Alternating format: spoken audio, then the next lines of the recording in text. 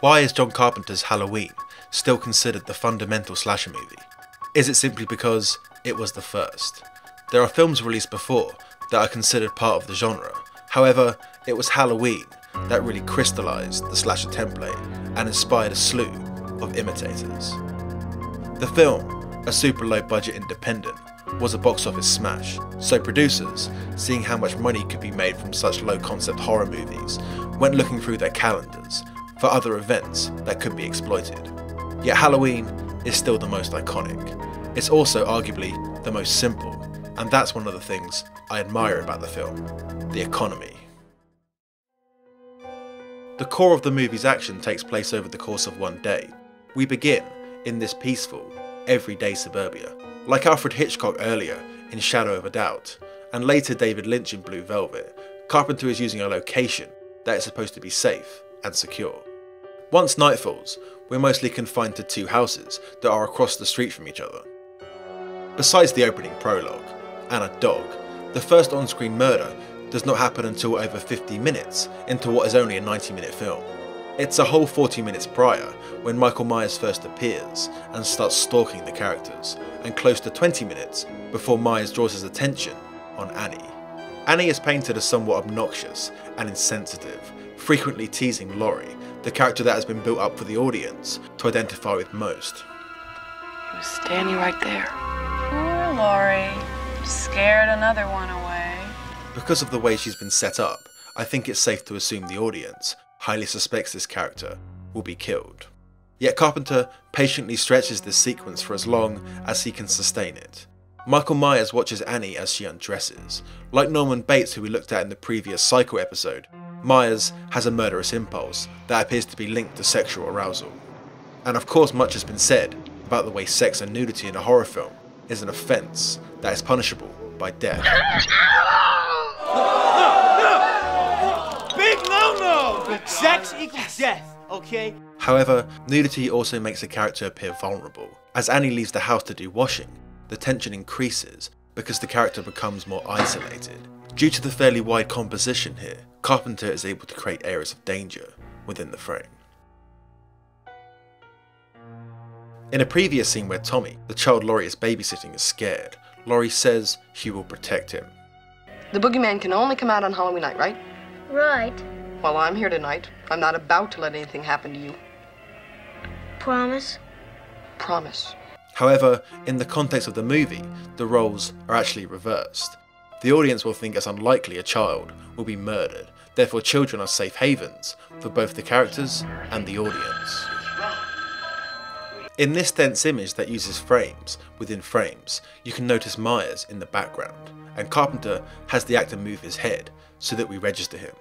Throughout the whole film, Carpenter is restrained and strategic in the way he utilises Myers. He's careful not to reveal his face too up front, or when the shot is head on, it's from a distance, and as the film goes on, we get incrementally closer.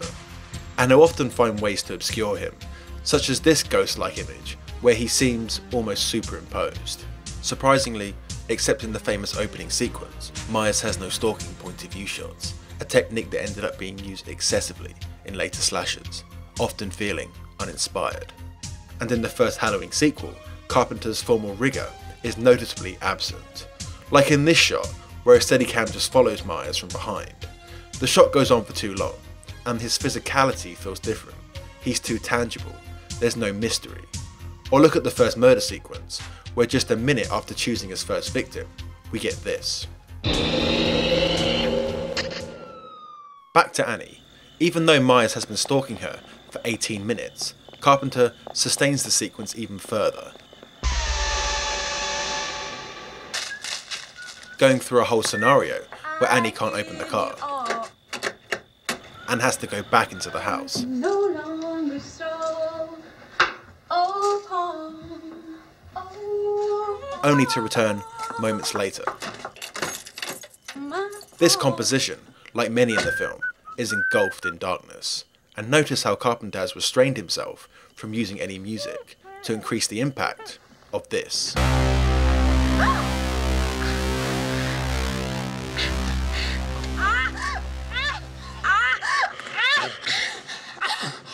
Like the sequence, the attack itself is sustained.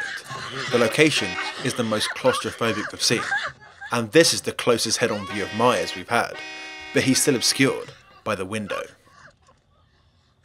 Comparatively, the next couple of murders happen in quick succession. I think this is because after the first kill is out of the way, the audience would not sustain the same interest in characters they have built little sympathy for. Another element Carpenter likes to sustain is the duration of his shots. Sometimes it will be for purely economical purposes, like in many of the scenes that involve Dr. Loomis, who's mostly used as an expositional character, providing background information that gives more weight to Michael Myers. I watched him for 15 years, sitting in a room, staring at a wall, not seeing the wall, looking past the wall, looking at this night. Because a lot of these scenes are essentially breaks from the more intense core narrative, it's fine to have them just roll out in one long take. But he will also sustain a shot to heighten the intensity. We know that Myers could appear from nowhere. He could be hiding in any corner or shadow, so the audience is not given the relief of a cut. On top of this, he orchestrates effects within the shot, like here with the door creaking.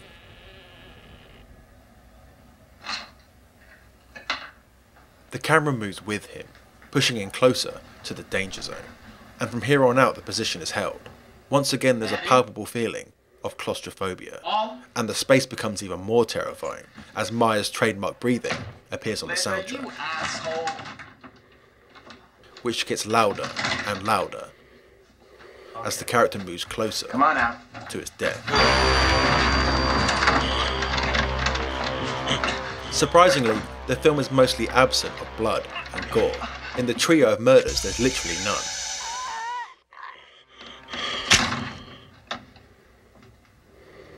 Subsequent slashes weren't so restrained, both in the amount of blood on screen and the overall body count. Gore is gross, but it's not necessarily scary. The mind can conjure up infinitely more disturbing imagery. Plus, there's a schism in the audience where they are frightened of the oncoming violence, whilst also having a bloodlust. And as the genre progressed, it became more about the outlandishness of the death scene. Audiences started to cheer on the killer because they weren't really invested in the characters. Halloween avoids this because the central characterization is strong. Carpenter took the time earlier in the film to build a three dimensional character that is relatable to the audience. Laurie seems to be stuck in a sort of limbo between childhood and adulthood. She's not as outgoing as her friends, and she represses her sexuality, even though she clearly does pine for the opposite sex. Ben Tramer? I knew it! See, you do think about things like that, huh, Laurie? Tellingly, this scene is shot at dusk, as she's on the cusp of transitioning to the more adult, nighttime terrain. After the couple is dispatched, we focus back on Laurie for what will be the final passage of the film. The stakes for the audience are now higher. As she leaves the house, we get the Hitchcockian point of view reaction sequence of shots. Hitchcock says that the magic of film editing is the ability to play with time. Here, Carpenter does exactly that, drawing out Laurie's walk across the street for as long as possible, playing on the fact that the audience knows she's heading into danger. Then, Laurie moves across the frame, and we cut to this objective angle. She's crossed over the line. She's about to become the next potential victim as she gradually gets further and further away from us. Once inside, she's forced to confront the evil that's present in the world. Like sexuality, acknowledging death is part of her adult realization. Again, Carpenter plays with dark, empty spaces, first quickly to shock, and then slowly to produce pure terror. You could make a reading of the film where Myers is a symbolic manifestation of Laurie's inner turmoil. Throughout the day, he often appears through her point of view, as if it were a daydream. And Myers frequently seems to drift in and out of the film's reality. I just talked with Ben Tramer and he got real excited when I told him how attracted you were to him. When Annie brings up Laurie's crush, it unleashes this controlled, deliberate camera move, where a child for the first time sees this.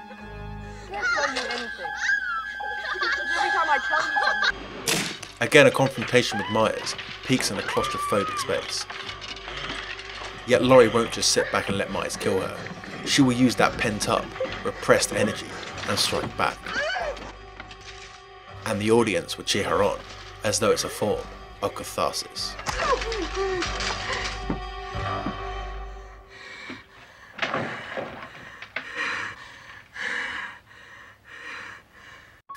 Michael Myers is an almost mythic creature.